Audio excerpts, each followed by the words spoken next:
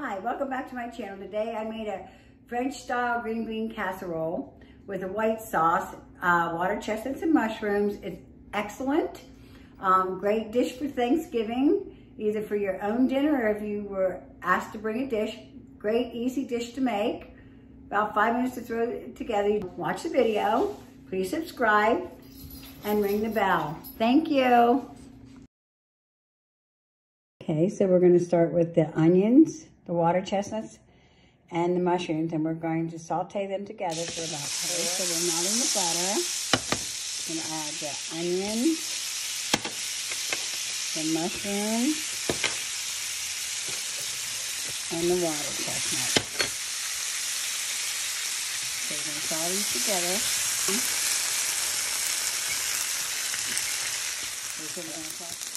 Okay, so we're going to sauteing, sauteing for about two minutes. And I'd use two tables of butter also to, to fry them in.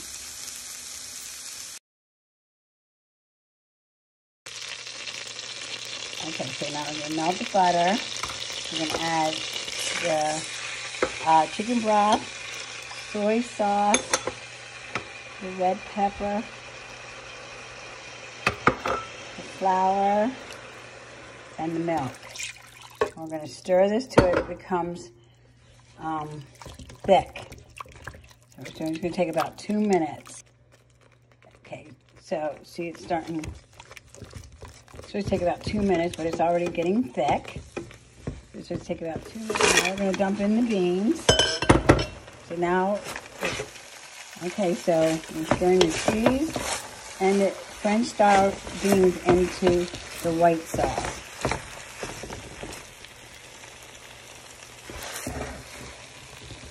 Then we're going to take this and we're going to put it into that casserole, greased casserole dish.